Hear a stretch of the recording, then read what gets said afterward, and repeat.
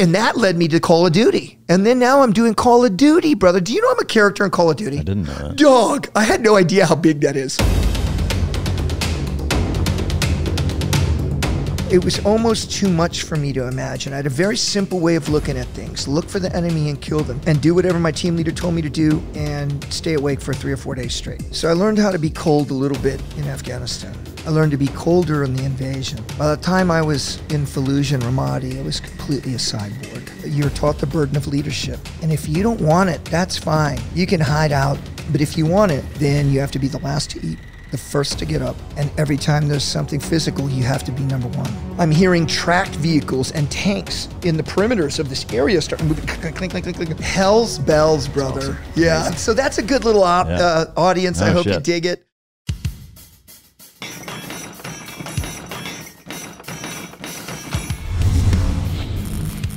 Welcome to Mike Drop, the podcast where relevancy is irrelevant and we don't give a shit about your feelings. Ladies and gentlemen, as always, it's both an honor and a pleasure to welcome my next guest to the podcast. He spent seven years on active duty with the United States Marine Corps as a recon guy, and then a follow on 10 years with the State Department, which we'll get into. He's the founder of Force Blue, uh, which is an amazing nonprofit that helps uh, repair and restore uh, coral reef, and we're, we're going to get heavy into that. He was a military advisor and also played himself on Generation Kill. He is the superstar of SAS Who Dares Wins and Special Forces World's Toughest Test. He's the owner of New War Productions. Uh, he recently moved here to Dallas, and he's married to Jade Struck, who uh, trained Halle Berry and John Wick, taught them how to do the John Wick business. He and her are the real life Mr. and Mrs. Smith. Ladies and gentlemen, welcome to the stage, Rudy Reyes. Yeah. Thank you, brother. Thank you, Mike, for having me out here, my man. Dude, thanks for coming, man. It's uh, we've been talking about this for a while, and, Yes. and uh, you know now that you're here makes it a little bit easier. What what is your spirit animal?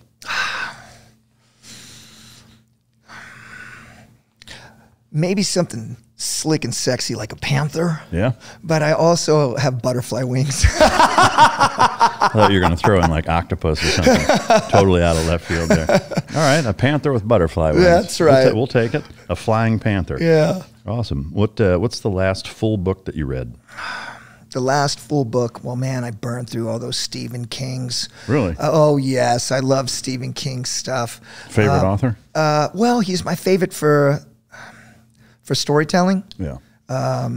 The Outsider about this this nebulous shape shifting vampire that's been studied in different lores throughout human history who may actually be an alien and when it touches or cuts you uh, it can take your form but only for a little bit of time and then he will uh, feast on little children because not only does he feast on their blood he feasts on their terror and nothing is more ter- uh, terrifying than that.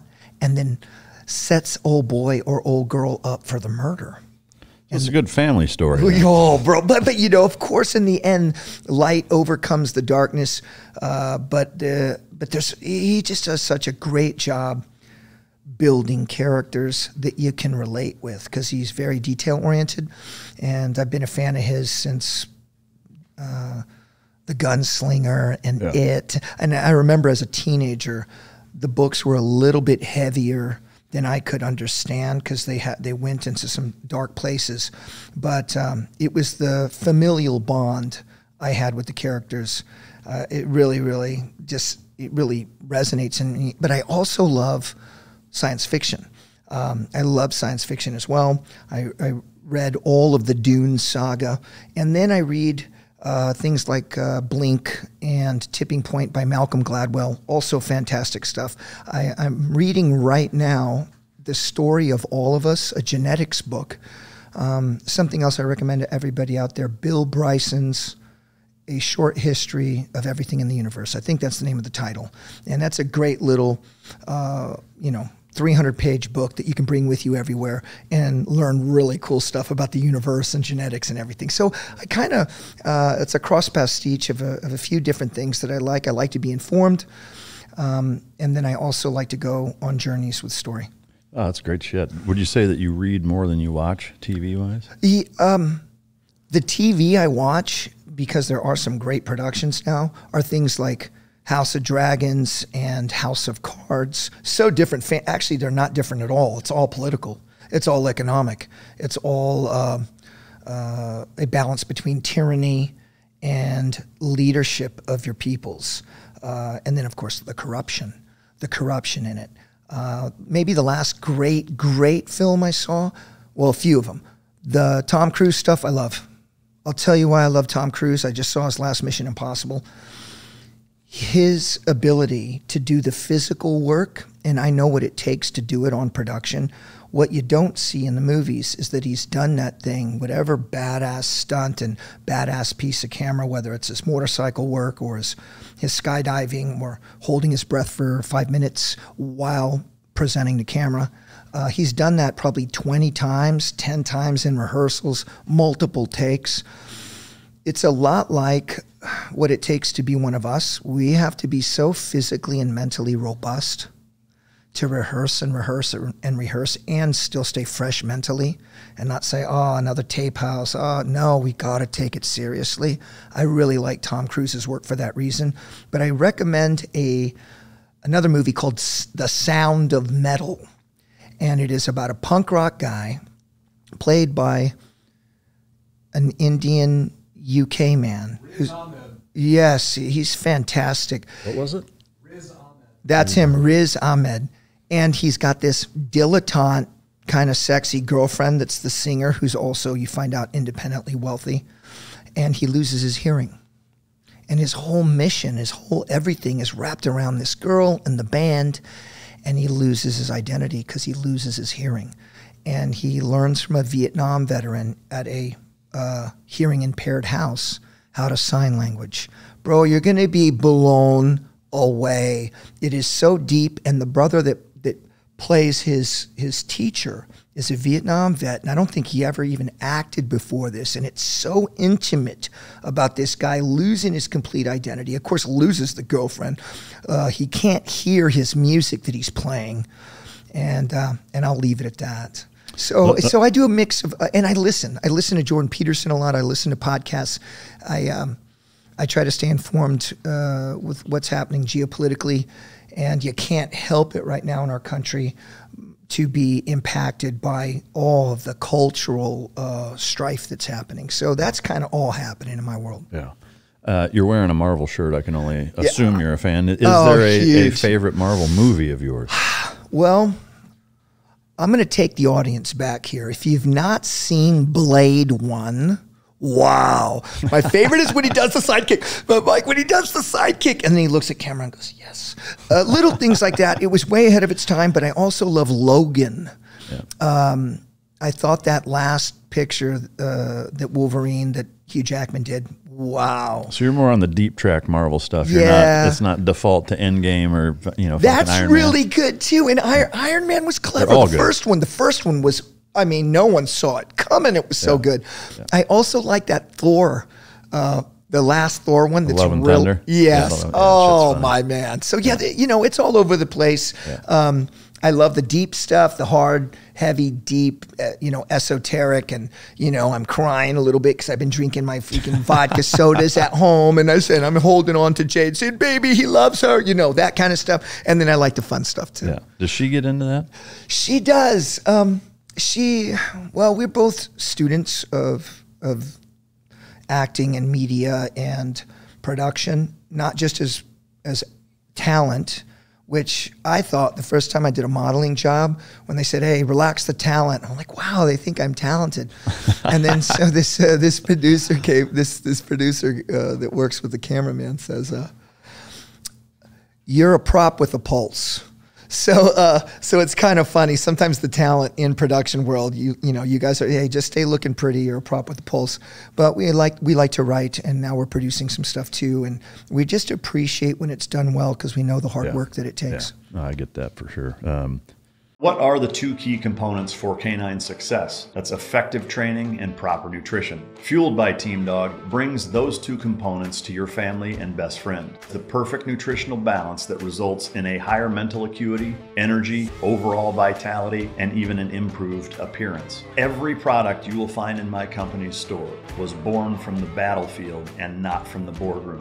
Let my life's work help you become your dog's hero. What's your uh, favorite thing about life?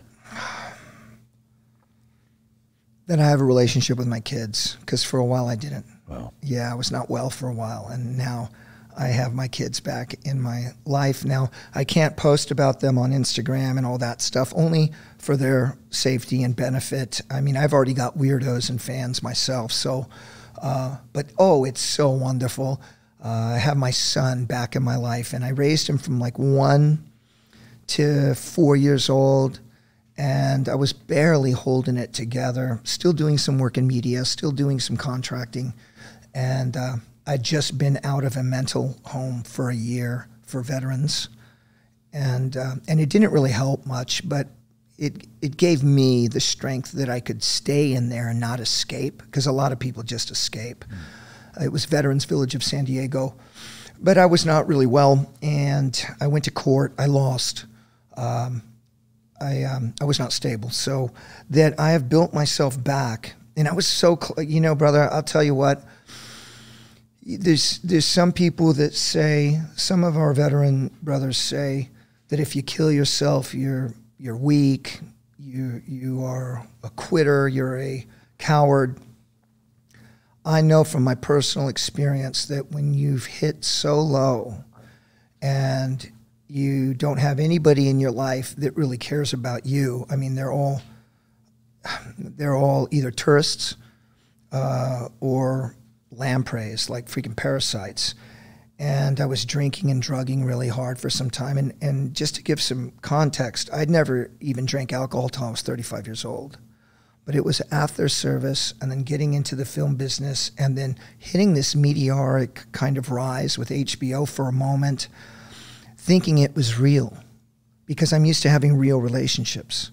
And when everybody tells you they love you and how you've done so good and how important you are, I thought that was real. And it wasn't. It's it's uh, it goes it's seasonal at best. And so uh, yeah, I, I started drinking because I couldn't ever sleep, and then and then I started doing hard drugs because I I believe I like to feel pain, to feel that I'm even existing. So um, I was at the bottom, lost my son.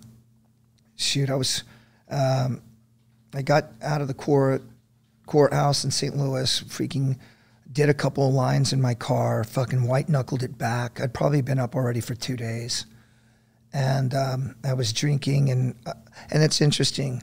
I never went to parties, and I never I never went out. Instead, I would just stay by myself and listen to music and just um, just kind of implode. And I had my pistol, I had my weapons. I was very close to taking my life because I really felt like a letdown. I felt like I let down uh, my son. Um, and I have a beautiful daughter, but she, I didn't have to go through this with her. I felt like I let down my son. Also, me being an orphan and growing up with a, without a father, I know what that did to me. And and and that I was somebody before. I've got a freaking chest full of medals, and I'm a recon marine. You know, um, I, I, came from poverty, and and and now I'm on the red carpet with uh, with superstars at the Emmys, and yet I feel I don't have nothing together. So it was very, very close. But bro, I, I, I don't know how best to explain it, but I, but God Himself talked to me in words I can't understand, but just let me know it was going to be okay. Right after that, I had an inspiration that I have to take action. So I called my brother Caesar. I was living in Kansas City. I told him to come to the house, take all my guns. I flushed my freaking cocaine down the toilet, stopped drinking. Took me a few days to get myself together. Started working out again hard, and um, and started that long walk back home to myself. A few years after that, I start Force Blue. Force Blue gives me the self esteem and self respect and then I'm around all of us guys, and I'm seeing, oh my gosh, um, this is who I am. I don't have to be angry that I've lost it, or I don't have to be angry that I'm not this anymore. It will always be a part of me, but now I'm going to adapt it. And also these other badass bros, my other freaking pararescue brothers and SEAL brothers and, and Royal Marine Commandos, they were all going through the same stuff I was. So I didn't feel alone. I generated steam, uh, got myself together, met Jade. I said, okay, now I'm really gonna freaking straighten myself up uh, because I gotta, I gotta keep this woman. You know what I mean? And uh, and so I got us a house. I, well, I got us a little crackhead apartment uh, close to Beverly Hills, uh, Hancock Park. It was uh, about the size of a kitchen, and it was like twenty seven hundred a month. And we were there for a while. The riots happened, and and I started getting some anxiety, like uh, you know, because I didn't have my freaking, you know, team with me. I didn't have close air support, and uh, there were break-ins, and there was a police car on fire three blocks away from our house. So we freaking got on out of there, and then eventually ended up in the South, and then now we're here in Texas. Yeah. So uh, I had a had a television show going on History Channel, the raddest show, haunted battlefields and it still may come back. But I did this pilot. Uh, I have to commune with the dead, right? So there's there's ghosts at this freaking. I won't tell you all of it, but this heavy duty freaking bat. The, the furthest west battle of uh, the Civil War, and for for a hundred years, there's been there's been reports of hearing and seeing this ghost in this area. So I went and did a freaking uh, spiritual recon and and dug myself in six feet into the ground, uh, purified. I did a fast for two days, put in a long freaking tube for breathing, and it was freezing out there in the desert. And a storm came in. It was in the wintertime and I'm using my Shaolin Kung Fu breathing and using my freaking pranayamic breathing to keep myself warm. I have this vision. The ghost comes, brother. I'm scared out of my mind. I, I, I claw my way out of the dirt. I've got my bivouac set up there, just on some scrub with a tarp and and some uh, flares. Got my fire firecraft all ready to go because I'm freezing, you know. And I get that fire going, and then I, I'm a painter and I'm an illustrator, so I draw what I saw the next day, I get a face to face with the Civil War Museum guy that runs the museum there, and and we talk about it. And it was super rad.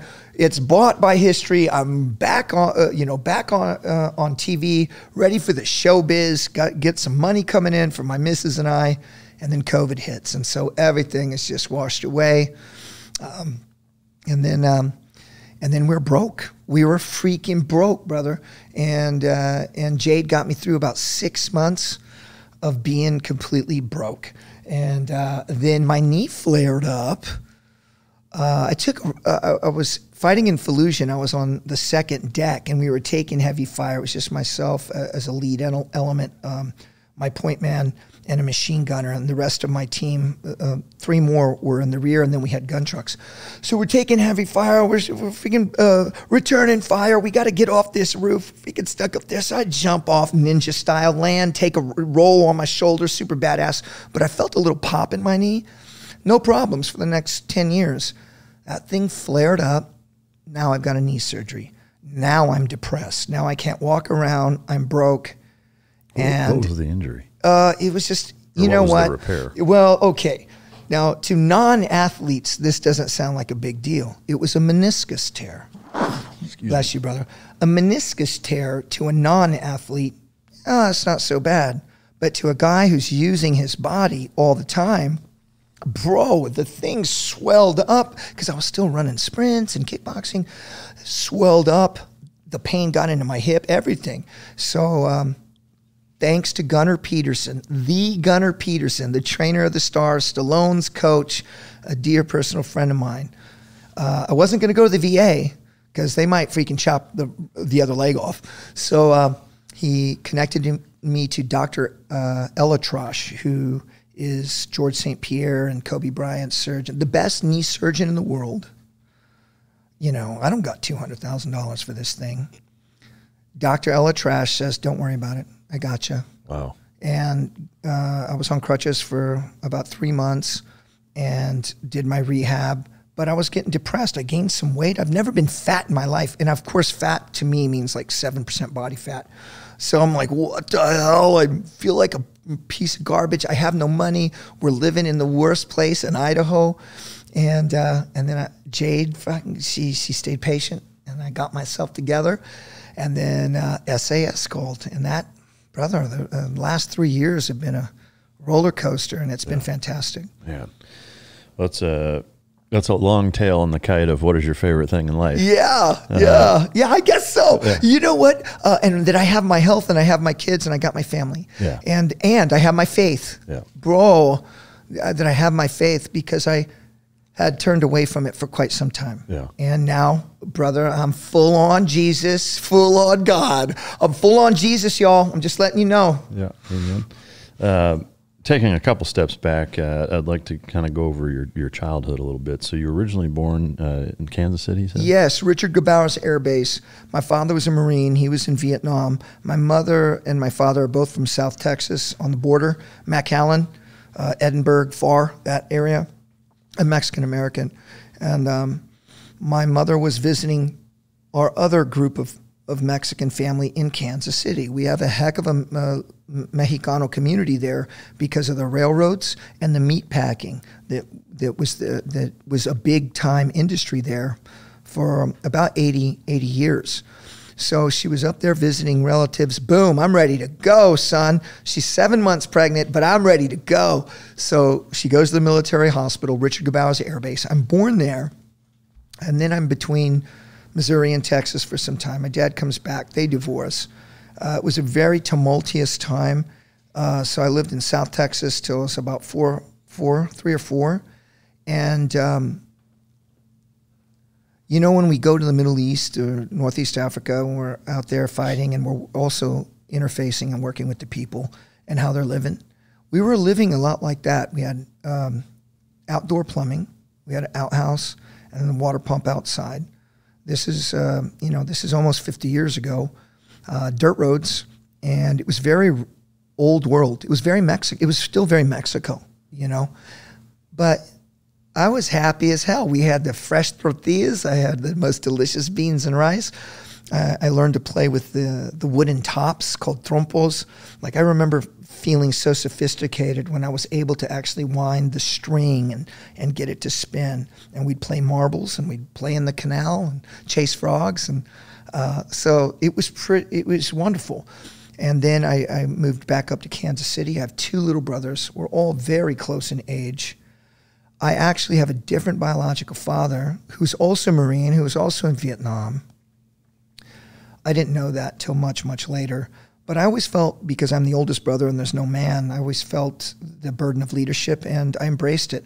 I thought Michael and Caesar, Caesar's uh, underneath me and then Michael's the youngest. I thought we were, I was so much older than them, but they're only a year and a couple months apart. Uh, so I took that leadership position and, um, and then we bounced around and then between Texas and from one like horrible ghetto to a worse ghetto to a worse ghetto what did you, what was your mom doing at the time? You know, brother, my mother was is uh, a wonderful cook. She's great at you know starching your clothes and ironing your clothes. Old world woman, but she had no education and um, close to illiterate at that time. And she was just with one man or another, and then she got into drugs, and um, so she, she, couldn't take care of us. And um, and so I had to do it myself. And the best thing that happened to us is that we went to the Omaha Home for Boys. At what age was that? I guess I was, I got there by 11. And by then, brother, I'd already been abused. I'd been neglected. Um, I showed up. I had hepatitis, brother. I was almost freaking dead from hepatitis, from living in such horrible conditions. And um, my had really rotted out teeth. It was really, really tough. And I was very ashamed of myself. Like, you know, uh, if you can imagine going to, to grade school and middle school and your mouth is rotting so bad it stinks. So you keep your mouth closed and you never want to smile. And then I didn't realize I was so sick. I just always felt sick to my stomach and I was kind of yellow. But I was still working out all the time. Like I go to the park and do my pull ups and my dips. And I mean, I was always, always pushing myself physically because I love Marvel Comics because because no matter how hard life was, I could read the X Men, I could read the Avengers, I could I could read Spidey, I could read uh, Daredevil, and then I'd try to do those techniques that they were doing, you know. And uh, when I got to the the boys' home, I got medicine, got my teeth, you know, removed, and uh, got some new teeth put in, uh, got a haircut, got church clothes, and uh, got a wrestling mat and some and a weight pile. Brother, the rest is history. How, so how long, uh, once you went there, how long did you stay in that boys' I, home? I was there till 17. And um, I tried to get out and go to an uncle that was actually here in Grand Prairie. Um, and, um, and it didn't work out. And then I went to, to my mom and tried to make that work, but she was so checked out and, uh, and it was a dangerous place. So I went back to the boys' home, and my brothers Michael and Caesar stayed there till they were 16 and 17 because when I became 18, I could emancipate my brothers, and I took Michael and Caesar out of the boys' home then, and they all lived with me. I had an apartment, bus tables, washed dishes at an Italian restaurant in Kansas City, and um, and did some pizza delivery, and uh, what I did with my $35 a month is go to the YMCA for a family membership for like underprivileged people so that Michael, Caesar, and I could always work out at the gym. And, uh, and brother, I was a, straight narrow, uh, true believer. Work hard, work out all the time. I started doing Chinese Kung Fu. I'd been wrestling my whole time um, in middle school, high school, and lifting weights my whole time. And then with martial art, it gave me focus. It gave me something to believe in. It gave me responsibility because I had to eventually teach the young people too. And then I started competing, and then I started winning gold medals, and and uh, and that's why it's the ethics of martial arts. It's the it's the character developed from that is why I joined the Marine Corps. I never I never thought I was going to join the military, probably because I'd been around so much gun violence being in the hood. And a lot of the people I grew up with, both Mexican and black, were gangbangers. And, um, and I wanted to be the antithesis of that. So I didn't want anything. I loved fighting hand to hand because it was, first of all, it's fair. And you don't have to kill your opponent. You can beat them with ability and skill. Um, but but I, I, I didn't want to. I, I never really wanted to hurt people. That's not. I always protected my brothers, and I would fight only to defend. And you'd be surprised when you're a young man if you don't drink alcohol, you almost never fight because you're not in bars, you're not out late, you're uh, clear clear minded. And I was always training. I was always training for the next you know tournament or the next kickboxing uh, competition.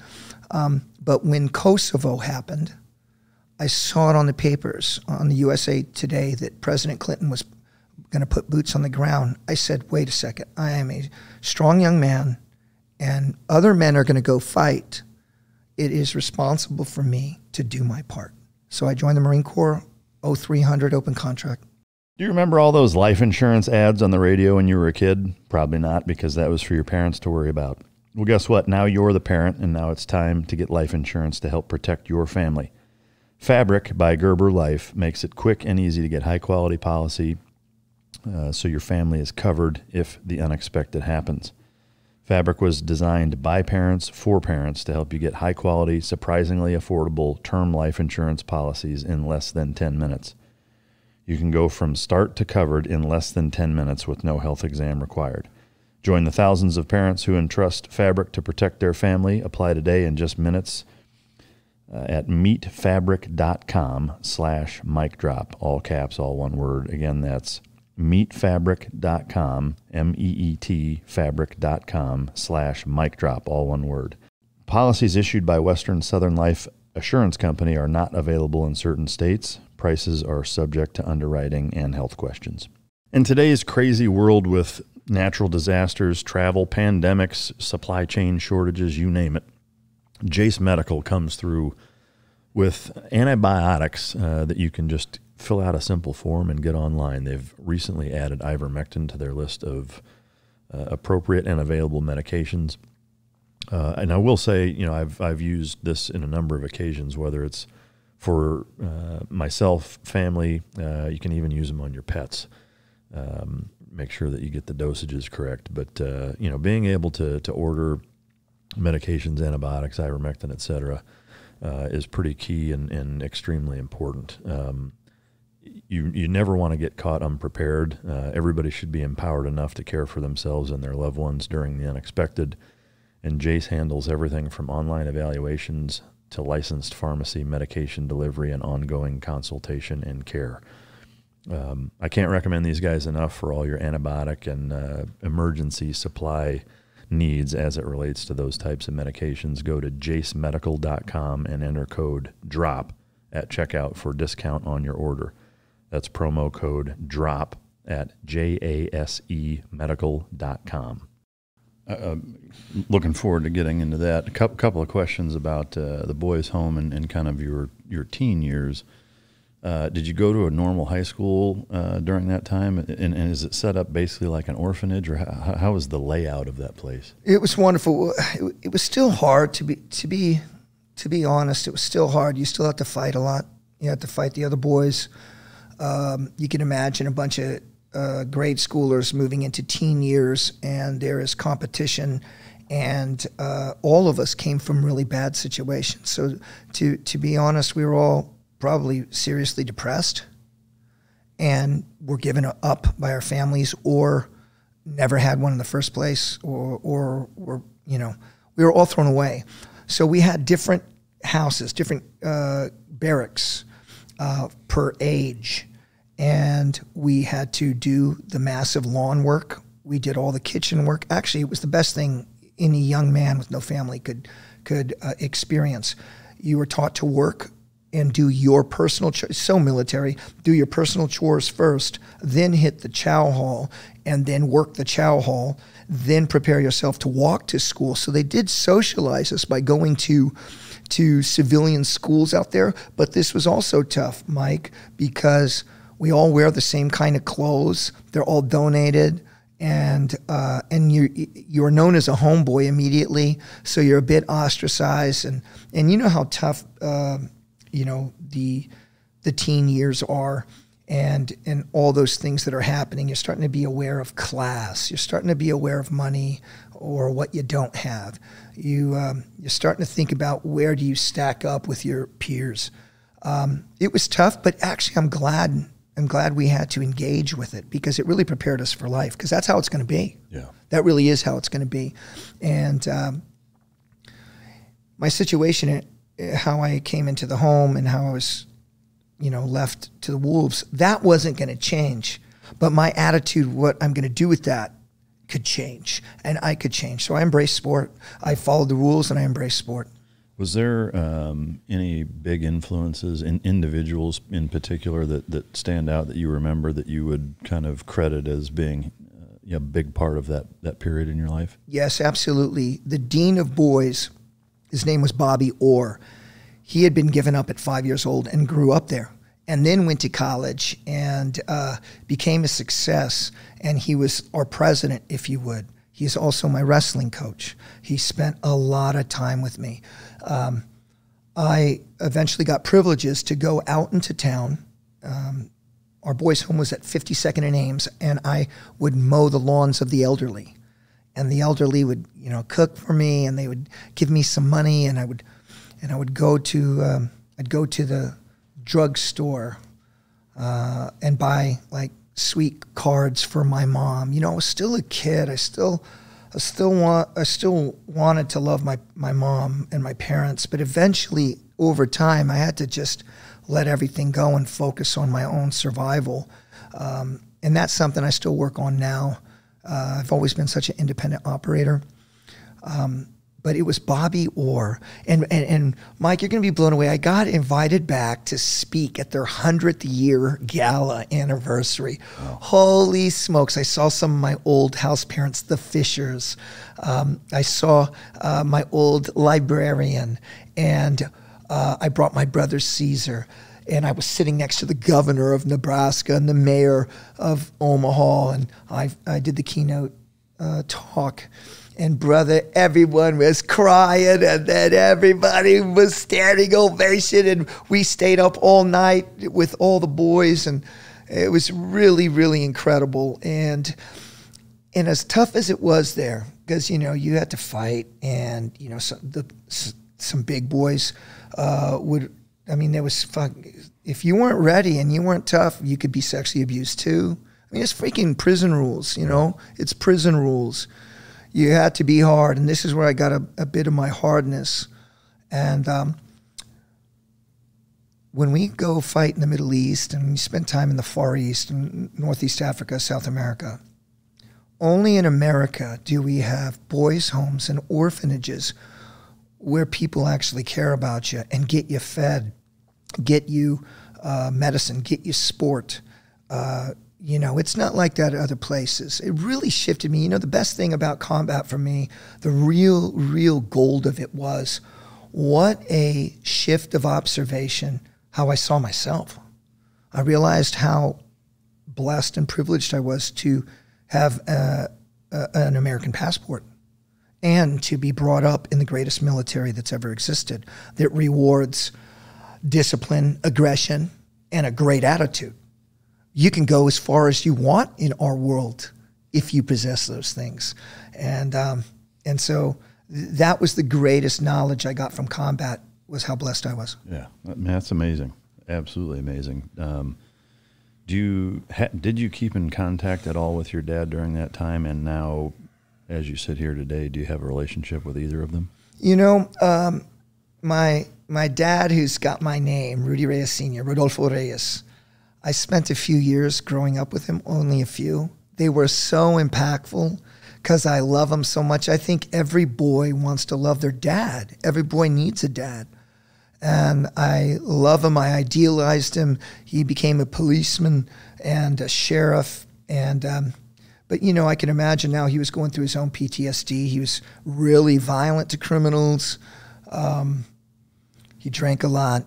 Uh, he was a he was a loose cannon, which I can understand. Uh, he came back and found me when I graduated high school, and I hadn't seen him for five or seven years.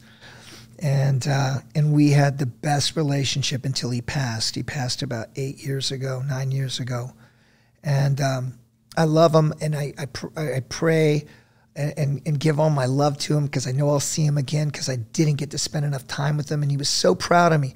Mike, every time, okay, so I, I, I'm the honor grad and Ironman of boot camp. And then I go to SOI, which is a fucking ass kicker. Remember, you've not been in the military really yet. All you're doing is humping everywhere with tons of kit and then fire and setting up firing lines and freaking running up hills, right? Running up hills and then doing your beans, bullets, and band-aids once you get to the top. And uh, and of course, I wanted to be the best. Uh, I've got my my boot camp photograph at home, and Jade says, "Baby, you're so skinny. You know, you're very thin." I said, "Well, they starve you." And they said, "Well, why do they do that? Because they want you to be a certain size or shape." And they said, "No, you're taught the burden of leadership, and if you don't want it, that's fine. You can be a regular squatty. You can you can um, you can be middle of the pack. You can hide out."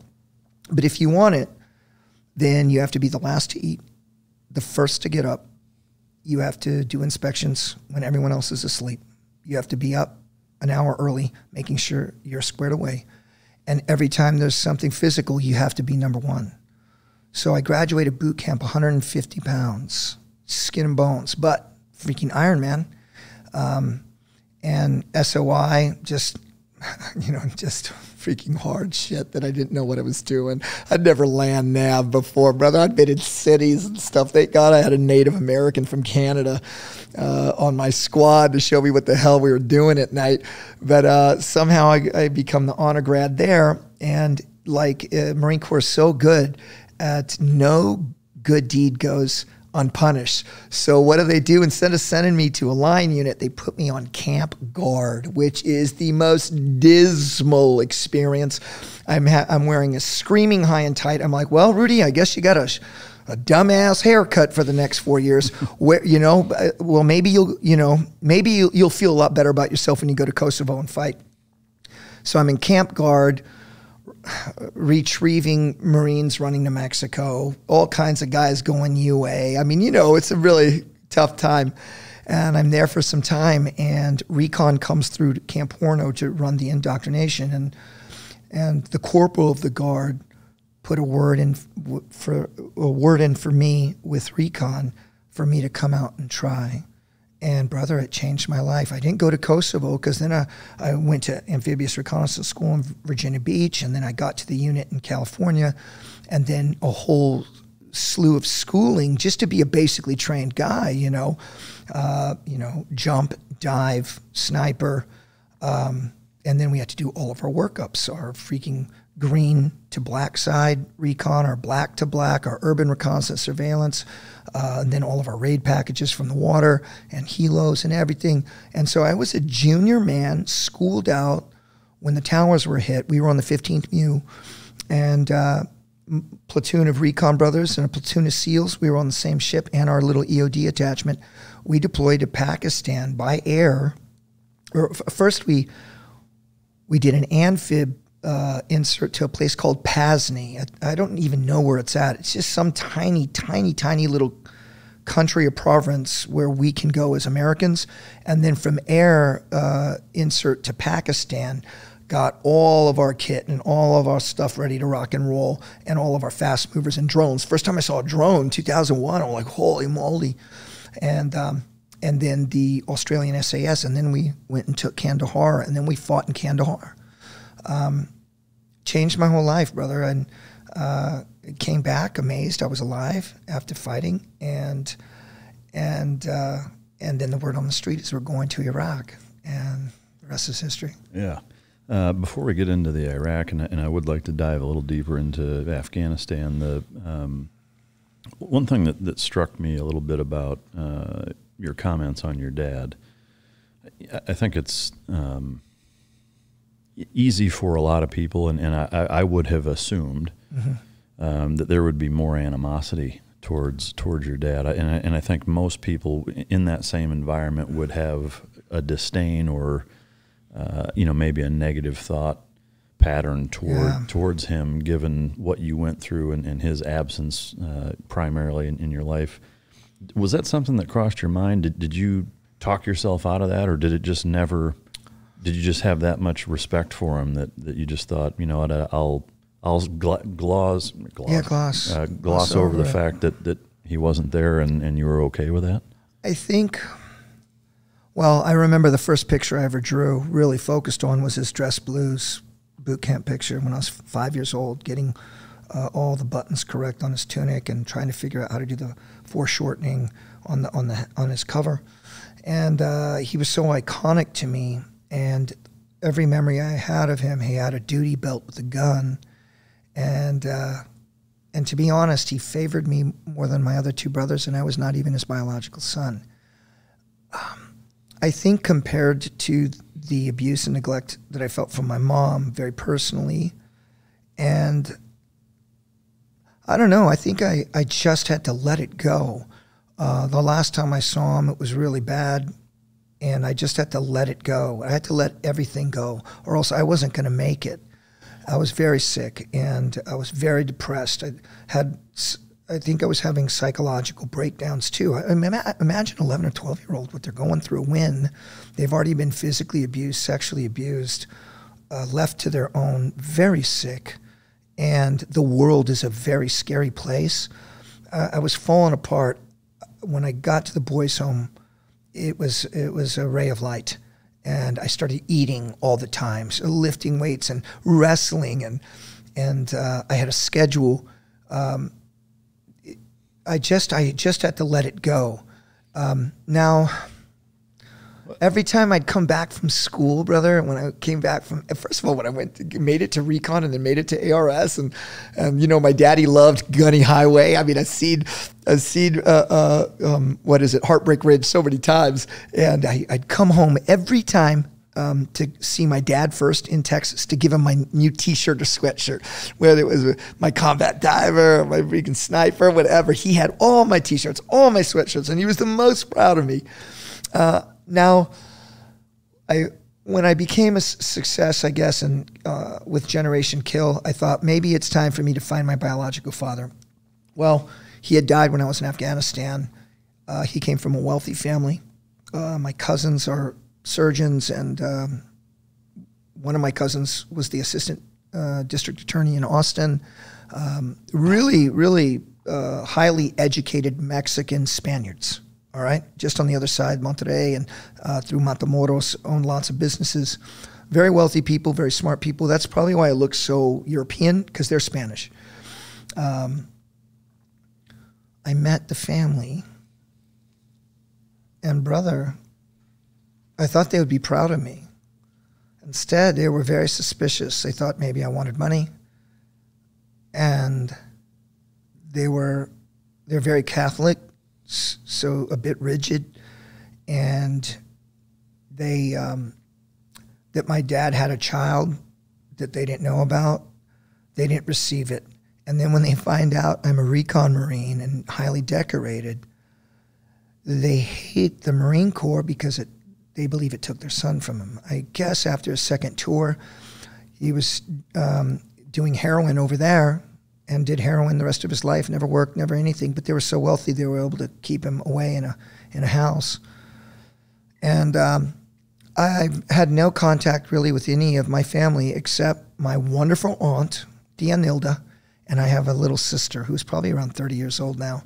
And uh, but uh, I don't know, uh, brother. I, have had such a fractured experience with family, except in the Marine Corps. Yeah, and that's why you guys. That's why my community. That's why my why my special operations community and the veteran community at large is so special to me, and why I try to be my very best to give some hope and inspiration to the brothers and sisters out there. Yeah.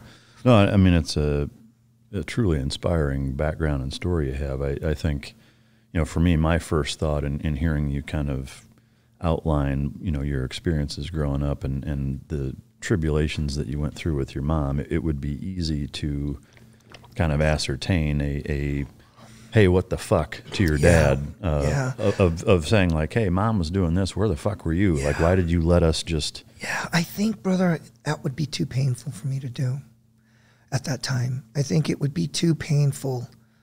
Uh, I, th- I think it would just be too painful for me. So instead, I looked for a father somewhere else, and I got it in Bobby Orr. Yeah. I got it in wrestling. I got it in martial art. I got it in the Marine Corps. I've been I've been searching and, and finding fathers ever since until now, and now I'm a father, and uh, and that's what I did. Yeah. That's what I did. Yeah, amen. Uh, relationship with your mom? I just started talking to her again, like last year. Holy smokes. Um, still so fired up, brother. She talks. She has a, a, a, dirtier mouth than a freaking seal and a recon put together. Uh, she. Uh, Where's she, she, at? She's in Kansas City. She's now getting old, so I'm going to take care of her. And um, I think, I think since I lost my son Dylan, and by the way, my son's back in my life. I get to see him for the first time in November. I've been FaceTiming, FaceTiming with him for about three years now since I've become more successful and I'm able to take care of child support and sport and everything. Uh, showing the family I'm dedicated. Um, they're Asian and they're very successful. They're educated doctors, and showing how dedicated I am. And um, and with the strength of that and you know like the king of jordan sending my son birthday cards and photos you know yeah. I, I utilized every bit of that swag i got from my family sure. they deserve it um, i healed enough to start working on that relationship with my mom jade will tell you that that the healing that she's witnessed in the last five years with me um, it, it's been nothing short of a miracle. You know, she's heavy in the faith. I was too angry and too depressed and too ashamed of myself to accept God to love me. Um, I always thought I had to compete for everything I am and everything um, I am known to be. I must compete and I must hold that razor's edge, or or else I'm just not worth it. Or so I couldn't accept that grace and um, and the forgiveness, and slowly as I started repairing myself all along. Brother, I've been in some heavy ass firefights and heavy ass stuff. I, I, know you know what I'm talking about. And the freaking bullets are just going whoo whoo. You know what I mean? And I'm hitting right on. And and and, and there's so many. Uh, you know, I had an RPG brother shoot right here, and it was just right across the canal in Iraq. So you know, you got the hardball raised up, so you're freaking uh, you're uh, totally skylined, and then uh, then you got a canal that's too freaking deep for the Humvees to go through, and right on the other side uh, uh behind some uh, some vehicles, right before, and I just done three days uh, clandestine patrolling through the Euphrates and then sniper missions, and it was people don't know Iraq in the wintertime and in February is freaking freezing cold, and if you're doing overt stuff during the day and you're sweat soaked, and then you gotta lie up at night and and you're freezing, brother. Um, and I got extracted. The sun was coming up, and we're heading back to the hard base, the MAC. And uh, I saw this woman in black and a child running this way, and I just had the wherewithal to look this way. And in those days, we didn't have we had completely open Humvees with just the half armored doors, and um, the uh, the RPG it went flying. It, I heard the boom, and then it went right in front of my heavy gunner with the gooseneck, right, and right be- my, behind my head, and boom. So all man, I've been I've I've been looked after my whole life, and and then and Jade reads the Bible every morning, and sometimes we fight all the time because I was so nihilistic. So there cannot be anybody that loves me. You know, there's no way you have to earn. You know, what about children, little babies that, uh, that haven't had a chance to be baptized or, uh, uh, or, or born in the Far East and uh, they're born Buddhist? Are they not going to heaven? So, you know, I had all this anger because I wasn't ready to forgive myself either. These, these, these things started healing. And when that started healing, I started being more available for everybody that really is important in my life and my, you know, my mother could pass tomorrow, and I'm not sure if I'd cry, but my by me being there for her, um, I'm being there for everybody, and I'm more uh, involved with my relationship. I'm sharper with my work. Uh, I can say no to things now because I'm not in a space of emptiness. Um, I feel that everything is just as it should be. Not that you become lazy. Yeah. But that everything's where it should be. Yeah. I think that's a good good mentality and attitude. It's easy to be guilty of what I think a, a, lot of just human beings in general general are, but especially you know westernized society where you know we're either living in the past or worrying about the future and, so and never present. Mm-hmm. You know, and I think uh, that attitude of not just complacency of like, well, it is what it is, and I, I, can't do anything, but just being okay and content with with where things are. It doesn't mean you don't strive to get better, but you've got to like first be good with with what's going on. You know. Um, yes. Yes. You, when you look in that mirror, you have to actually have some respect. Yeah, there, absolutely. Right. Yeah. Yep. I mean, if it, like n- nobody's going to respect you if you don't respect you. So you know? true. So, so true. Yeah, um, I, I, do think there's a fine line, or, or there needs to be a difference between self-respect and arrogance, and sometimes Absolutely. sometimes that's gray for, for some folks. But yes, but uh, yes, real self-respect, I think, is is really driven from immense deep work on oneself. Um, you know, you really got to work deep on yourself. Uh, are you fronting in any way? Are you fronting? Um, are you a man of your word? How do you speak to others? More importantly, how do you speak to yourself? The language you use, even in your head. And are you in a constant state of saying praise to Father uh, to, to saying praise to God about everything that you've been gifted and how blessed you are and how much work you must do the real work yeah. not just the freaking uh, glamorous stuff and not just the famous stuff but the real work you know um, not losing your freaking cool when your when your woman gets on your case about something uh, not you know not calling your agent and saying where the, where the f is my money not you know instead where hey come on short time here long time in heaven make it right here so that this is accessible. Yeah. You know? And it's uh it's never ending. Never. Yeah. No. It, and I kind of enjoy it that yeah. every day we got another day to practice being yeah. awesome inside. Well, I think there's a parallel between, you know, especially being in like special operations units where, you know, we had a saying earn your trident every day. That's right. But I think the same is true with yourself. Like you've got to earn your own self respect every day. That's like, right. It's not like, okay, I have it and now I can let go. Like you, you've got to continue to to be the example and and you know at least strive to to be what your expectations are. You know. Um, yeah, brother. J- just going back to your, so have a relationship with your mom. Do you mind if I ask? Is is she cleaned up? Uh, she is she at a point in life where she's relatively good to go, or medium? Yeah. She's medium. She's not going to change. Uh, and oh my gosh, she's a, a, drama queen, but she's also hilarious. I mean, I put her on speakerphone when I'm talking to her, and oh, mijo, mijo, you know, it's my, my arthritis, mijo. Oh, but, uh, and I said, well, mom, have you thought about cleaning up your diet a little bit? And, and, um, Jade and I, we make, uh, taquitos with turkey. That's sacrilege. Tur- turkey? Yeah. Oh, it has no, it has no flavor, mijo. It tastes like cardboard. No, I'm not doing that. I said, well, you know, uh, she's just out of control, brother. You know what? My personality is big. I must have got it from my mom because hers is up there, brother. has she met Jade?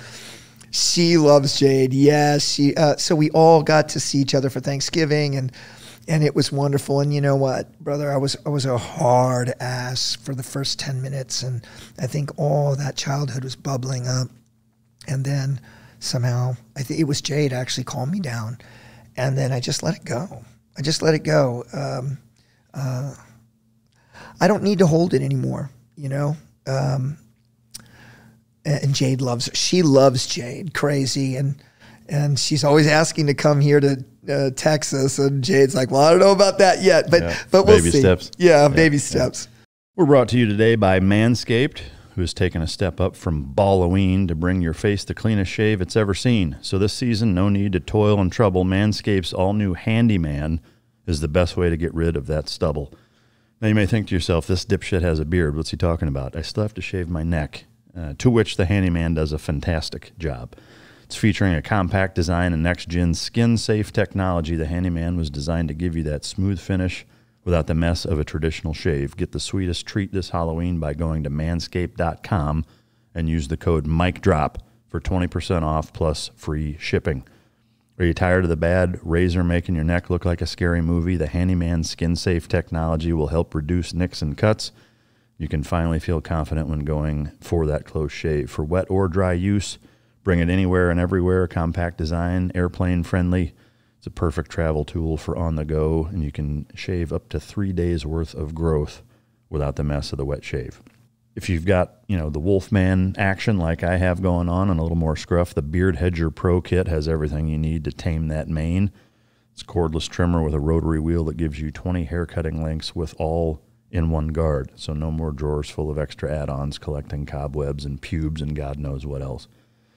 Halloween costumes may take effort, but beard grooming doesn't need to. 20 different beard lengths just in one guard. That beard hedger is a high tech piece of art and a travel size package with long lasting battery, universal charging, and one hell of a strong motor. Again, go to manscaped.com and insert the code MikeDrop for 20% off. Manscaped has been uh, sending us products for a long time now and has been a staunch supporter of Mike Drop. Please go check them out and support them as well. You know, all the time that I've been alive, the U.S. dollar has always been the primary currency, but that may not be the case much longer. China is set to dethrone the dollar uh, probably sooner than we all think. All of the world's biggest economies are ditching the U.S. dollar for the yuan. Collapsing U.S. currency is causing unprecedented inflation and crashing markets, which you see around us all the time. If that's not enough, it paves the way for the government to take total control over all your money with a new digital dollar. Take control of your savings and don't let your life savings become a casualty of currency wars. Now is the time to call the only precious metal dealer I trust, which is American Hartford Gold. They'll show you how to protect your savings and retirement accounts by diversifying your wealth portfolio with physical gold and silver. With the finest products, amazing customer service, and a buyback commitment, American Hartford Gold has a five star rating from thousands of reviews and an A plus from the Better Business Bureau. American Hartford Gold supports content like the Mike Drop podcast and it's committed to bringing you the truth, hence supporting my show. Uh, tell them I sent you, and they'll give you up to $5,000 of free silver on your first order. $5,000 of free silver on your first order. Call them now. Click on the link in the description, or you can call 855 967 1413. That's 855 967 1413. Or you can just text the word drop, as in mike drop, to 65532. Again, that's 855 967 1413, or text drop to 65532. Uh, okay, so getting back into, you went to Afghanistan first. Um, the could you kind of synopsize what, what the fighting was like? Because it was early on. Yes, can, it can was. You, if you could kind of walk through, Sure. like when you guys got there, what what the big mish was, kind of Sure. what, what your orders were, and, and kind of how that deployment went. Sure, and you know, all these freaking devil dogs and all the senior guys and and uh, my SEAL brothers, all they're like, yeah, freaking Westpac, Libo, you know, freaking Thailand, do a little desert stuff, uh, and um, I always had a feeling something was going to happen. So we had just left Hawaii, where we we passed, left Hawaii, did some rad jumping and diving and some patrolling, and then. Um, got to Australia, did uh, some counter smuggling stuff with Norforce up in Darwin, and then uh, on to Timor to do a peacekeeping mission. Dude, you so was this in uh, this was in two thousand 2001. Because that like that. I guess let me ask: Were were you on a fast catamaran by chance in uh, out of uh, out of Darwin with with some seals? I did. I I got with the freaking Swick guys and some seals, Because- and and and uh, and, and I, myself and another brother, uh, Emilio, we were the only two recon guys because we're the cool dudes. All my other fucking uh, recon brothers are like, man, fuck the seals. You know, I'm like, no, these dudes are awesome. We're working out all the time too. They said, hey, do you want to come on out on this freaking boat? And uh, oh, had the freaking time of my life, brother. But when I got back to the bear, the little berthing. Yeah. Are you ready for this? These motherfuckers. I got back to the berthing on the, you know, you got the table that's bolted in and the four, the four little stools bolted in and all the racks are down there. And by the way, this is, this is freaking five star living on the ship uh, compared to general ship was it? population. It? was the, the Dubuque, the Dubuque, Okay, so- uh, uh, small deck. Yeah, so I I think you and I were on were on the same fucking deployment. Maybe, really, brother? Uh, So I was on the Duluth, Okay. at which we went out with the Dubuque Yep. and the Mount Rushmore. That, Yep. that was the uh, the the amphib amphib fib group. Jesus, I can't even Yep. talk. But we went to Hawaii, to Australia, um, and same exact thing. We we worked with the Norforce guys in Darwin. We tested a fast cat. Ended up doing a Neo in East Timor Yes. and then uh, jumped on the fucking USS Bunker Hill and, and hauled ass to Bahrain. We were in Bahrain for a few days, and then the Cole got bombed. So we jumped on the Tarawa. You, you were on the one right before me. okay. Yeah, that had just happened. Yeah. You're right. Yeah. That you were. Um, I had some recon brothers that were that were on that op Yeah. or and on, on that freaking uh, that float. Yeah. Uh, same same Same gig. yeah. Same gig. And um, crazy. Yeah, brother. Small well, you know world. that's what we were doing back in those days. And um, and when the towers were hit, we went. Uh, you know, all fucking systems go to uh, the Persian Gulf, Yeah. and we're getting orders and uh, getting all our bang, getting all our freaking pyro, getting all of our ammunition, filling radios, rehearsing, doing a lot of shooting on the flight deck, freaking pra- practicing our fast rope inserts in the. This is the most dangerous shit I've ever done. In the uh, the elevator shaft. Yeah. And the freaking boat's going, we're fucking banging it. We're- you know what I mean? Full kit going down the five story elevator shaft for our fast roping. And, uh, and so we, we hit Pasni. And from there, to a place called Jacobabad, flew in there, m- held in place about three weeks maybe, living hard. Uh, first of all, much love to my um, Marine Corps infantry. Those brothers are always living in holes, brother. We're living, you know, in a in an aircraft hangar, and it's um, and we're and we're prepping, and and then I'm doing my first counter recon kind of counter sniper patrols in Pakistan. Uh, and it's just ramping up, and man, we've got tons of Brits coming. We got the Aussies coming. So boom, we get the word. Now we're going to go take uh, take go to this tiny little fob that we would call Camp Rhino. It would later be Camp Rhino, and um, Rangers and um and spookies and specters hit it from the freaking sky and then went down and, and mopped up. We got there after that, freaking mopped up some more, and it was a heroin factory and uh, a massive warehouse. And immediately, it was us, it was the SEALs, it was Aussie SAS, some EOD, and uh, s- some probably ground branch style dudes. So is this late 01 or early 02 or This is late 01. This is September, October. This is by October. yeah, so I could Yeah, right very. away. Yeah, right away, right away, brother. And it was, uh, fuck, we didn't even have hel- helmets, brother. We were, remember we used to wear the big. Protex. Yeah, we'd wear the big freaking um, uh, H harness recon rigs Yeah. because we'd have to do reconnaissance. We'd be out there freaking five, six days. Uh, I didn't know how to drive a Humvee. I didn't have a Humvee. I didn't, and we didn't have any Humvees. So we took them from Com and took them from some other people. Uh, some cats had some IFAVs. Uh, and we're like, holy shit, man, this is a whole new world. Uh, all of our deuce gear and all our rucks and everything were all OD. So, being the freaking sharp camouflage dude I am, I love camouflage as an aesthetic. I was really into being a sniper. I, I found some flour that all the locals had used for their naan or their bread, and I made a paste, and then I made some freaking paint, and I brought some sand, and I camouflaged all our stuff. Um, and we were getting grids of freaking 60k 70k movements massive grids that are our area of operation of a five-man team. And we're gonna we're gonna patrol I'd never freaking driven a Humvee. Now I got an optic on, and, and you know the terrain out there. Um, you can drive off a cliff like that, and and of course there's bad guys. I'm, I'm you know I'm scared to half to death, and I'm the junior guy in the freaking team, and uh, we're all freak. Uh, three of the five of us are scout snipers. I got a ranger. I got man, we've got a stacked team, but I'm a junior guy, and um, I'm in charge of the route. Do you remember? I'm sure you do, Mike.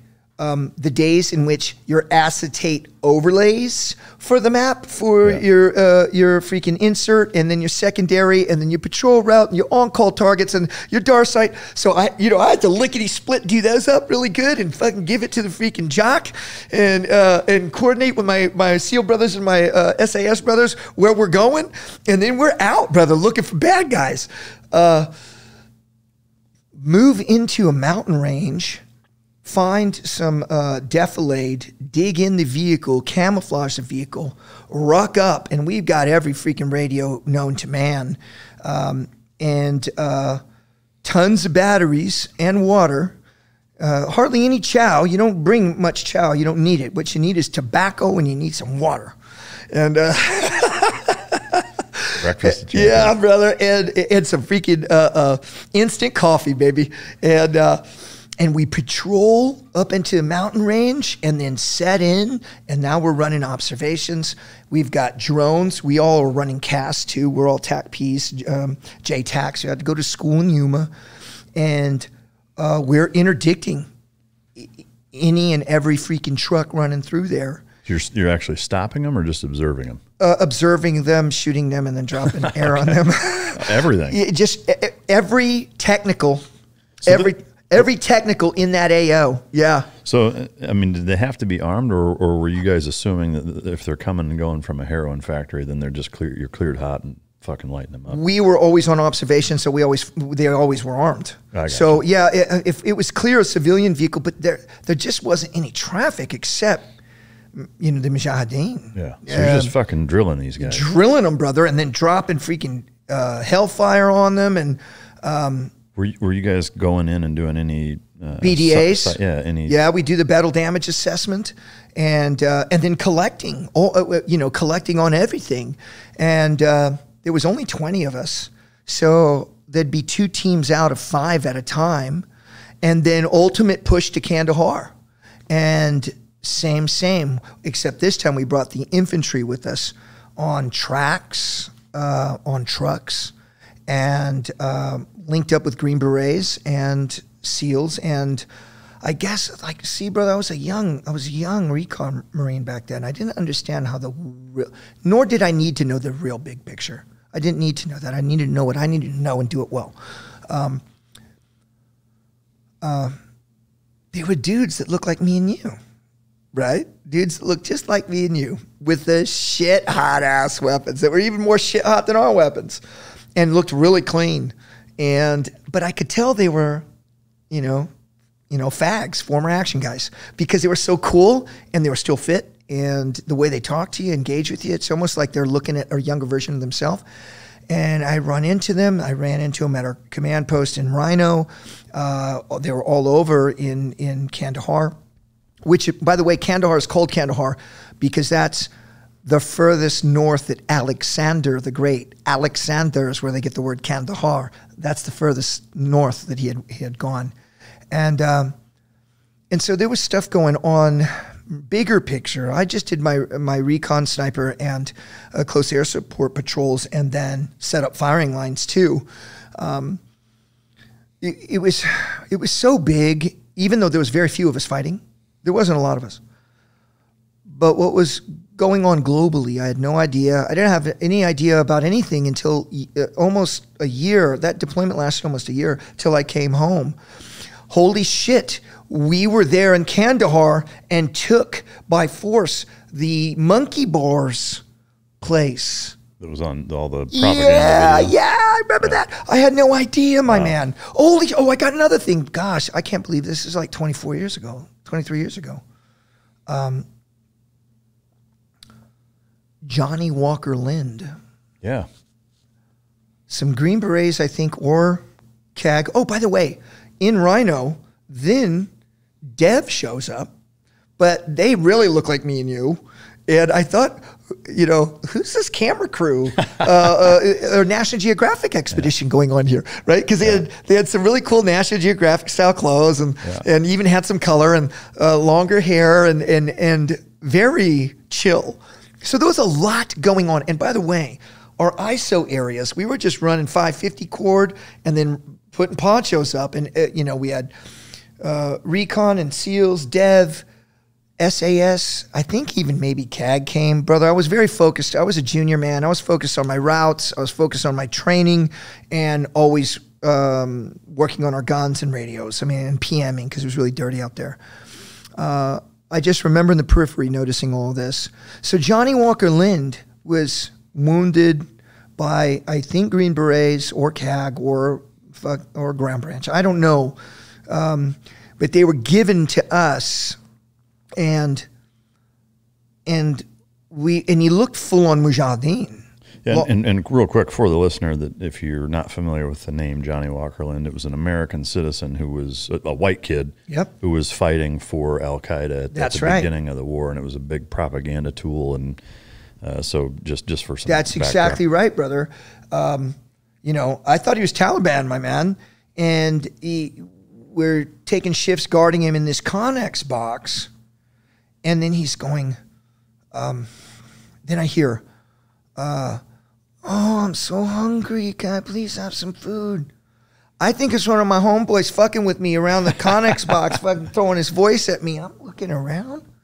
What is going on here? Sure enough, he's American. Couldn't believe it. I'm like, what in the wild world of sports am I a part of right now? This is a, you know, that I'm in this strange piece of history. How did you not wring that fucking guy's neck? Like, did you guys? He was already wounded pretty bad and fucked up, and we definitely starved him. Um, brother, I was so I followed the rules, and I was a, remember I was a corporal, my man.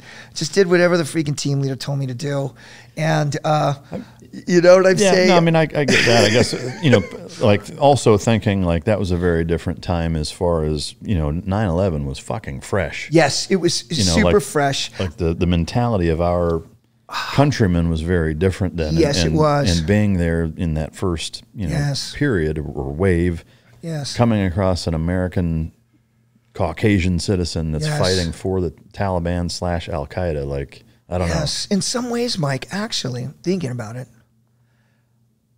it short circuited my brain. I really couldn't imagine that's what this is. I had n- I I I, I would never imagine that one of our own people would be committing terrorism and fighting us. Uh, It was almost too much for me to imagine. I had a very simple way of looking at things: look for the enemy and kill them, and um, and do whatever my team leader told me to do, and stay awake for three or four days straight. Right? That was ow. Uh, so, uh, and something else that would happen later when I was in Iraq, the first time. I was still learning how to be cold. So I learned how to be cold a little bit in Afghanistan. I learned to be colder in the invasion. By the time I was in Fallujah and Ramadi, I was completely a cyborg.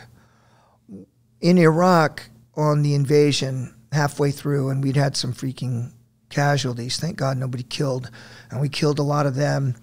And uh, we all had dysentery by then and there were some tanks dug in to ambush us. This is the initial invasion. tour. Yes, the initial invasion. And we were leading the whole 1st Marine Division. We were 30K ahead of everybody. We didn't have nothing out there. Oftentimes, oftentimes no close air support either. Uh, recon by fire. We engaged them first. We freaking schwacked these tanks. We kill many of the Iraqi soldiers. And then one of them was alive and, and gave up. I took control of him and I'd already I'd already wounded some other people in battles before then, and and I was I wasn't compassionate. I wasn't compassionate also because I had just got out of a hot blood firefight with these guys. This guy, he looked so fucking demoralized, and he was an old man. He was chubby, or he was probably not old. He was probably 35 years old, but he was chubby, and you can tell he had nothing in him and he was scared, brother. All of us freaking gorillas, all of us psychos. He was probably thinking we'd treat him like Saddam would, torture him a bit and then cut his head off, right? And we didn't. We put him in a truck. You know, we had him zip tied, his hands, and then I got him some water, and then got him some some water. You know, um, I I still had that piece of humanity left in me. Still, I hadn't been in. Eventually, it goes away, is what I'm saying. But the last one, and we got brothers being killed, and and um, and it's a 360 degree threat, and it is absolutely hell on earth. Even though sometimes I had the greatest time of my life, I thought because I never thought about dying. Um, that that uh, that cyborg took over. It had to. I could have no more humanity for anyone there, and the humanity I did have for these wonderful Iraqis who were Christian, by the way, that were helping us. Eventually, um, they were um, caught, uh, tortured, and beheaded. And I think that's. I know it's jumping ahead, but it was in the end me doing so much. I thought great work of killing these really dangerous, evil people, in which oftentimes they have the drop on you. It's their backyard. And uh, we defeated the whole IED threat in freaking Fallujah by doing continuous um, overt patrols during the day, melt into the bush at night, and then covert patrolling sniper missions and interdictions with gun trucks and and uh, close air support. Um, I, I'd done so much, but the family that I was working with, who wanted nothing but a paved road so their children don't get sick in the dust walking to school. They didn't want money. They didn't want uh, supplies. They didn't want anything. They they said, "Do you think you could do that?" And we're like, "We'll do fucking anything for you." That eventually we left them, and that is what when, when you know Sergeant Major came and talked to me, and I was a very seasoned senior team leader by then. Hey, we're standing up this new unit. It's got freaking SOCOM dollars. We love you. We want you to stay. Let's let's have you enlist again. Bonus is awesome. It wasn't even on my mind. Something in me had broken. My vision of America, my vision of good and evil, my vision of my world, my whole world view was broken. I, I was now in the really real world, and I was not quite equipped for it because it broke my heart. You get what I'm saying? Yeah, I mean it. Uh, you were you were self aware enough to essentially be able to to look inward to the depths with which you, you understood that, that it was broken. Like yeah, you, you, were aware of that. Yeah, something happened, brother, and and um, I was not the same. I, I, I was just it just uh, broke my heart, and it's not that I was questioning. Uh, not just U.S. foreign policy and warfare and all of this, because you know warfare is the dawn is the nature of man. I know this, but damn, you know we are good. We are good, and we are doing this for the good. But why can I not save these people? I could, so I call I, I called the hard base. You know, I called the the rock and they knew very well that these people had been giving us information and and uh, and that I had I had used their water tower, the only water tower in this little ville, Al Karma, outside of Fallujah.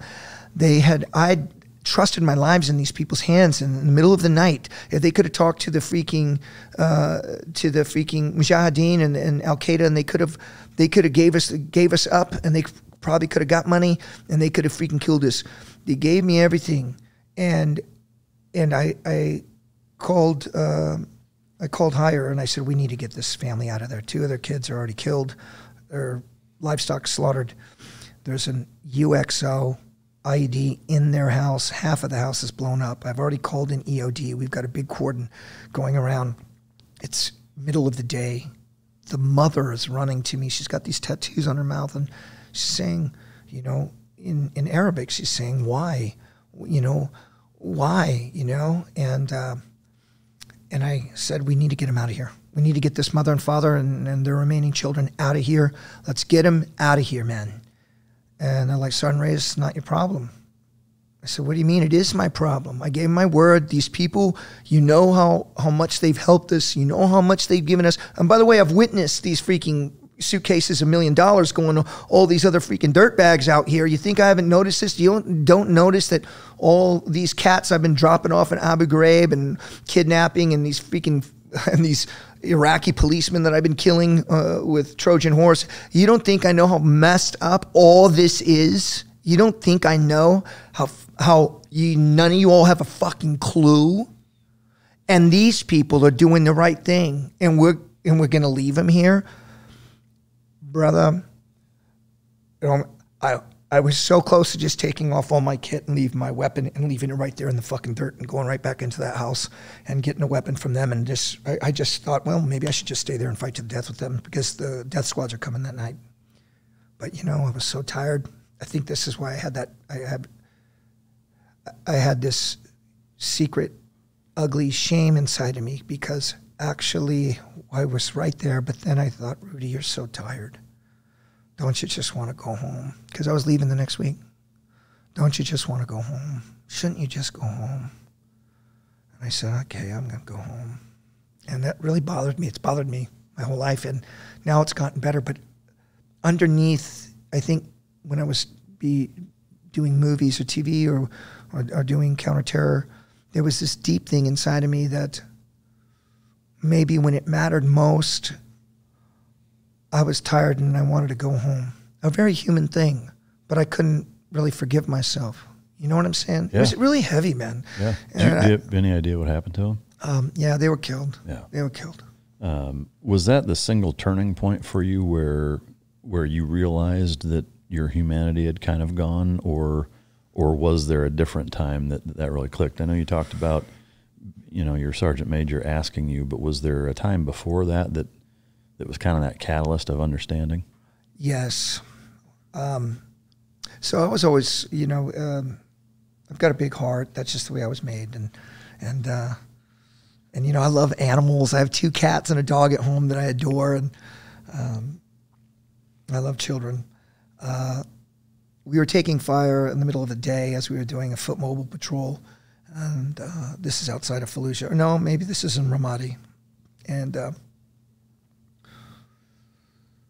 two adults ran to the river, got on a boat with weapons. My gun trucks hit them,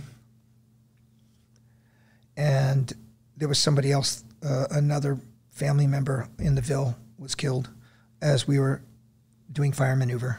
We get to the little Ville hamlet. It's on the it's on a, a river uh, tributary, and um, and we're doing SSE, and there is a naked, um, naked invalid, uh, genetically damaged child there, naked. About how old? About ten and scooting around on its naked ass because his legs didn't work. And I don't know if it was a boy or a girl because I didn't look at it too much because I had other shit going on. I'm the team leader of this freaking op, and I got another team there too, and we're doing SSE, and, and we've got an engagement in the river, and I'm, you know, we got a lot going on. And uh, the child had blue eyes, really dark hair, light skin, and this light mustache on its mouth. But it might have been, I don't know if it was a boy or girl, but it uh, was mentally damaged too. So the child just going, wah, wah, wah, crying, like, wah, wah, I can't talk. And then it's, it's scooting around and it's pawing on one of these other uh, family members, maybe, or somebody and I'm doing my freaking reports. I'm getting freaking word from this ear and this ear about the frago that I'm about to do.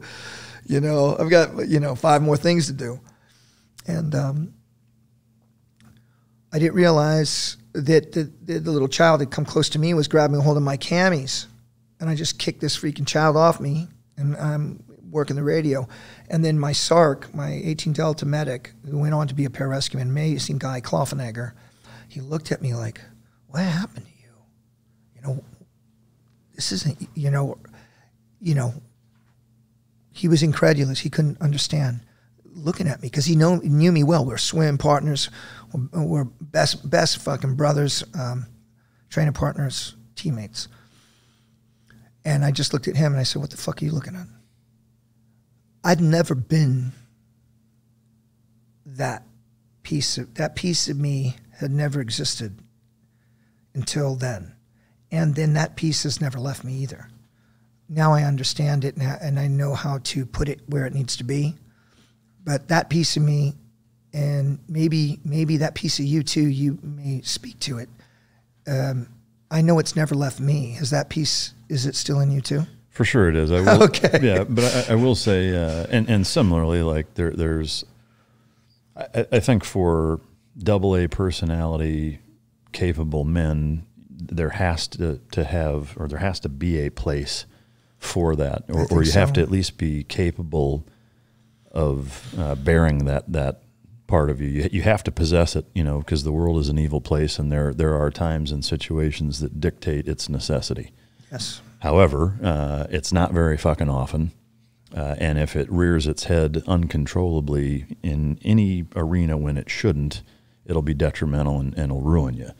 Uh, and it's a hard thing to control sometimes. Um, I will say, at least for me, I, I, tend to find myself being more empathetic, uh, mm-hmm. m- maybe than most guys are towards uh, a lot of people. Frankly, to almost to my own detriment, where um, you know, may, maybe even getting taken advantage of in mm-hmm. certain instances because I try to give people the, the benefit of the doubt in most cases, but uh, but I, I, I, know exactly what you mean, and yeah. it's it's heart it's heartbreaking, uh, you know, to hear the progressive nature with which it, it left. Uh, you know, the empathy kind of left, and, and this part of your character brought itself into into existence. But uh, man, that's and you know, Mike, I think it's.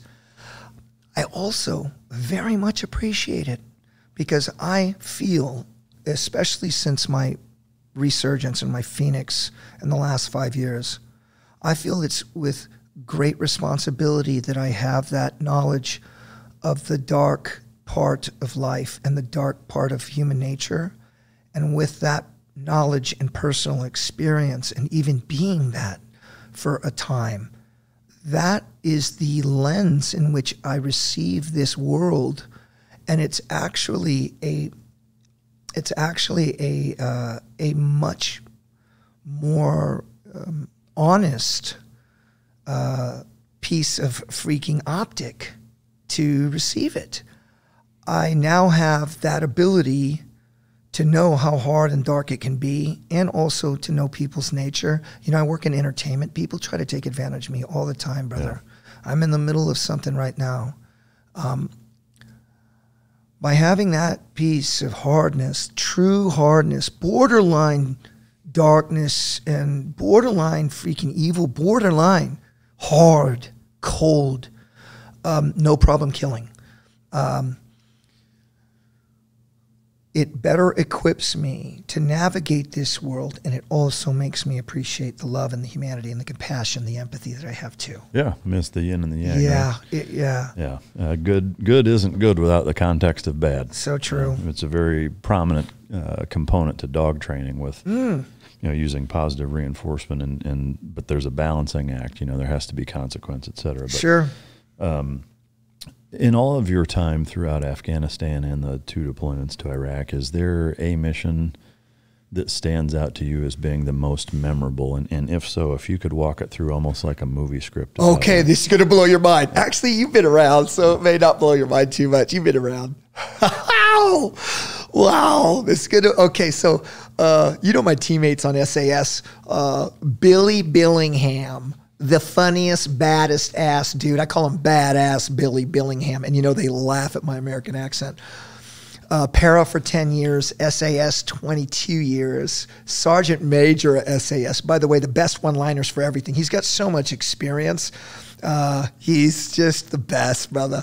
Uh, and and then Foxy SBS 20 years, uh, Royal Marine Commando SBS. That's their like if like if SAS would be CAG and SBS would be Dev, right? Mm-hmm. Um, and uh, we're all uh, we do recons whether we're in Jordan, Vietnam, uh, New Zealand. That's where we did our last one, and we always work together and do recons, and then do uh, set up rope systems and stuff to prepare. It's a really super professional show, and we always talk talk mess. In the evenings, we freaking drink and talking all kinds of stuff. And so uh, McChrystal and Billy worked side by side in Fallujah and in Iraq. Oh, wow. And um, and I said, well, you know, and he's telling me these badass stories, and he's doing this and he's doing that. And I said, well, you know what? I got one for you, Billy.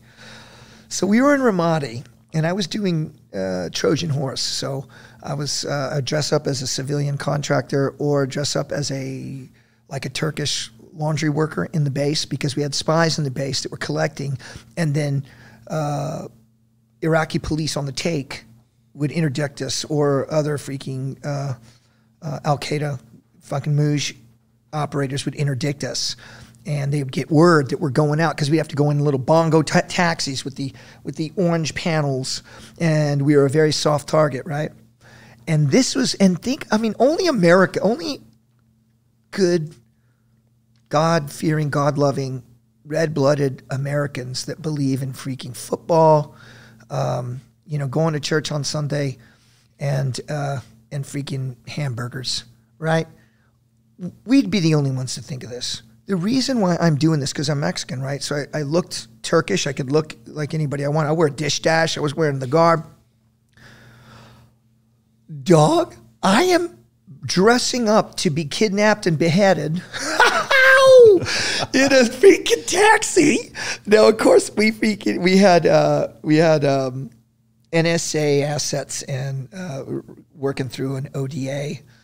And we put armor in the doors. We cut out the back seat so that my machine gunner is hiding in the trunk and can just roll into the back seat. There's no, uh, there's no up up part of the seat, so he can roll and fucking hit from there. Because we're fighting right out of the vehicle oftentimes because these these policemen would freaking bang us and they'd be brandishing their weapons, thinking, "Oh, they got us," and then we freaking wait, waste them, brother, close quarter at speed, watching the vehicles go. go, go, go, go. This is just a normal vehicle. Um, yeah, A, taxi. Do you remember the, You yeah. remember those those fucking But taxis? they weren't they weren't outfitted with any kind of we cut some steel, put them in the doors. Yeah. fucking body armor over the fucking window. Yeah, you know, and uh, and wow, only we would, and why we were doing this, Mike? Why? It's because we didn't want to hurt a single civilian. We wanted to draw them out, kill them, or capture them. We never captured anybody. We killed them all. And then take their phones and, and then run signals intelligence on, on, that, and then do DA hits at four in the morning to bomb makers, uh, you know, people funneling money, whatever. And we really shut that place down. But damn, brother, that's a lot of exposure. Yeah, I look, spicy. yeah, I look back now. Damn, that's a lot of exposure. Oh, oh, oh, also, the, another thing I uh, never liked red dot. uh, You know, optics and stuff like that. And remember, in the old days, we all had to qualify on freaking iron sights, y'all. Iron sights qualify to include flat range, and then before you go into the house, you have to do it all iron sights, brother. You better shoot tight. And um, well, I had these new cool optics. That's a really rad EOTech. Sure enough, if you know, I always turn it off when I'm not using it because I don't want to wear out the battery. So I forgot to turn that thing on. I fucking presented it up, and uh, and I'm like, well, I guess front sight tip, and so I just hit them. Um, so needless to say, at home we have a piss. My little Glock has a EOTech on it, and we leave it on. I can always buy more batteries. Uh, so uh, I, I'm looking like um, I'm looking like you know a Latino freaking John Wick, and uh, and uh, in between doing Trojan Horse, uh, we also just get hot fills uh, to do some recon or sniper missions. So I'm in Ramadi in this built up area. And you remember in Iraq how there was some like almost finished nice homes? Yeah. They were almost finished, but they were nice. I had to patrol about a click or two, and we pushed the gun trucks clicks away. But you know what, brother? I was always very conservative when I was fighting. Uh, I made an interface with the tow guys, with cat teams. Attached these grunt cat teams. They were so hungry to work and they're kicking it with recon. They were living the dream because with those tows and the FLIRs uh, optics they have, fantastic for over there. Uh, and then always having tow missiles as, an, as uh, an asset is fantastic. And we used them.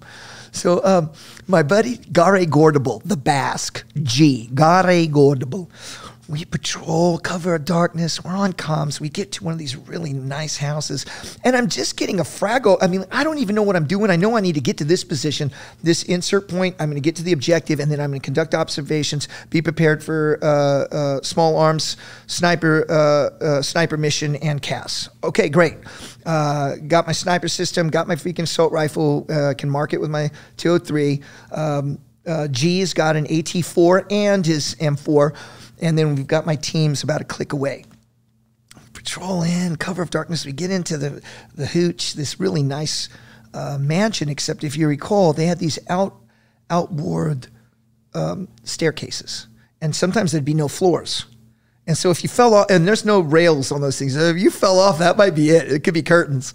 So we're patrolling, patrolling, patrolling up there. We get onto the roof, you know, and we're freaking camied up. Bro, I took my camouflage so seriously, dog. I had a, uh, I had a, uh, a desert colored boonie uh, that was actually like some duck camouflage that I repainted myself and faces all camied up, brother. We always, we have fucking, uh, um, mechanics gloves that are in cami, you know, I got all my shit squared away, my fucking rifle set up and everything. And, and then I get a, a story or, some, um, my commander, uh, Von Kraus.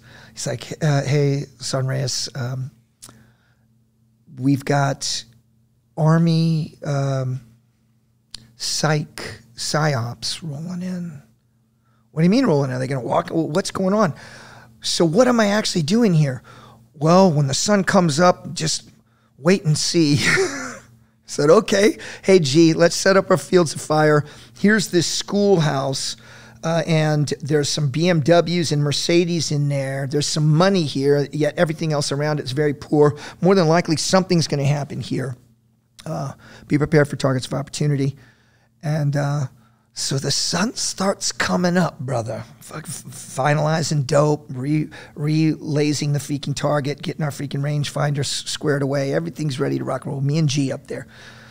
And the sun's coming up, and then first you hear the hee haw, hee haw, hee haw of all the donkeys and the freaking roosters, and then you hear hum the ha la the call to prayer, and then and then we hear bong.